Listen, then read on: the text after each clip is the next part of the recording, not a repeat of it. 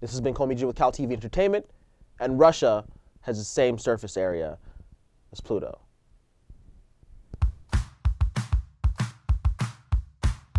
Hello everyone, my name is Komi Gee with Cal TV Entertainment, and with midterms just over and finals right around the corner, I'm here to relieve some good old-fashioned Berkeley stress with some new music and new artists that you might not have heard of. Let's get started.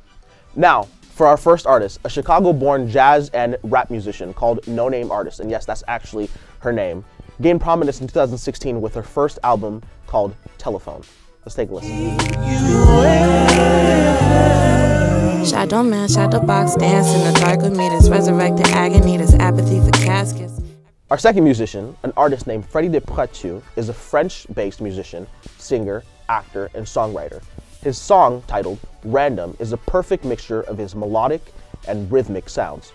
Let's take a listen. de galère où je rame à tout défaire, m'émanciper de ses affaires. Bien regarde, je ne sais pas le faire. Oh, oh, oh, oh. You're going to love this last artist if you're into soul music. Some people compare James Vickery's voice to that of angels singing. Now, his song titled Until Morning showcases his melodic and soulful singing voice. Let's take a listen.